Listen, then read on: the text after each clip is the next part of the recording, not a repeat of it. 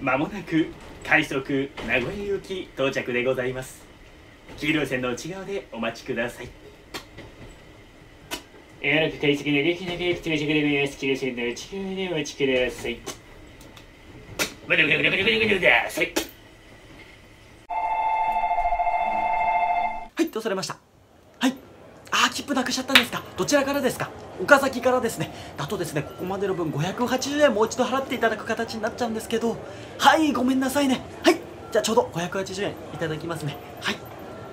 あお姉ちゃん。お釣り580円です。次から気をつけてね。はいどうされました？はい。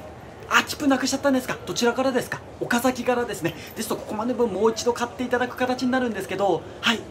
領収書があってもちょっと出すことできなくてですね切符自体がないとここ出すことできないんですよ。申し訳ないんですけどあ書いてあったとかじゃなきゃあの申し訳ないんですけどルールになっておりますのであお客様お待ちください。他のお客様もあのこのような対応させていただいておりますのであお客様ちょあお客様待ってください。他のお客様もこうやって対応させていただいておりますので申し訳ないですけど払っていただかないとあいいですか？はいごめんなさいね、えー、ではですねお客様ですね580円ですね。お客様はもうキセル扱いになりますので3倍打ちいただきまして1740円ですね。はいどうされました？ドクターイエローですか？13時2分の入店になりますね。お願いします。はい美味しいご飯屋さんですか？西口を出てすぐのところに瀬川っていうカレーうどん屋さんがあるので行ってみてください。はいどうされました？